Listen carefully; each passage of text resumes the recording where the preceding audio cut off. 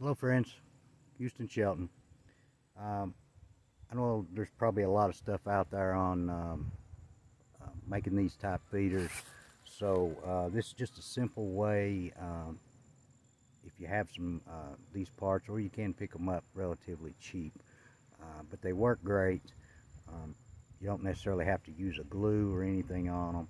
But uh, I'll show you what I got. Um, so uh, just a piece of uh, four inch pipe um, you know drain line you can pick them up uh, actually I picked that piece I, it was longer but I cut it out of a, a uh, construction dumpster um, you're gonna need a coupling you know to uh, connect because the uh, piece here if you want to add this on the end uh, it's a gutter downspout. It's, it's four inches, but it's the same um, size as the pipe.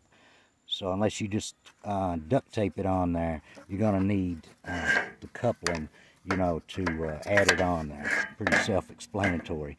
Um, you know, and then just get yourself a cap, you know, an end cap. Um, if that shows up or not, but they're all in the uh, plumbing section at a hardware, Lowe's, Home Depot, any of those.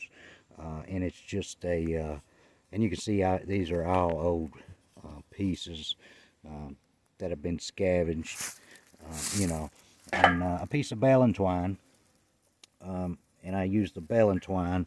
Um, I just kind of lay it over uh, whatever in there, and then when you slide the cap up on it, uh, it makes the hanger. Um, you know, the cap holds it in there, and then you'll be able to hang it up, you know, in the tree, um, or wherever you want to hang it. So, uh, just a little bit of information there. I hope it helps somebody that uh, needs to make one of these feeders, uh, you know, to supplement the bees. All right. Hope it helps. Everybody have a great day. Good health. God bless.